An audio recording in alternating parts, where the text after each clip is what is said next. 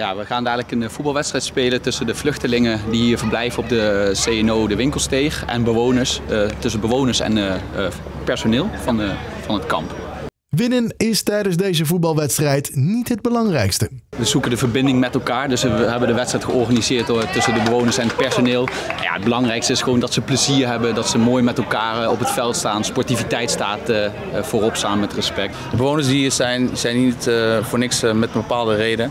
Dus om wat meer de ontspanning in te gaan, wat minder te denken aan problematiek. Maar om voornamelijk echt de verbinding te zoeken en de gezelligheid te laten plaatsvinden hier. De bewoners hebben zelf aangegeven dat ze graag een voetbalwedstrijd wilden houden. De woonbegeleiders zagen daar mooie kansen liggen. Om de verbinding te zoeken tussen de partners en de bewoners. Dus een aantal bewoners zijn ook naar ons toegekomen als woonbegeleiders, maar ook een sportbedrijf om te kijken of er wellicht een voetbalwedstrijd georganiseerd kan worden. En dat is vandaag dus gebeurd. Maar wat vinden de begeleiders er zelf van? Eén woord geweldig, fantastisch. Zijn tweede woord. En uh, voornamelijk dat het gewoon vaker georganiseerd mag uh, gaan worden.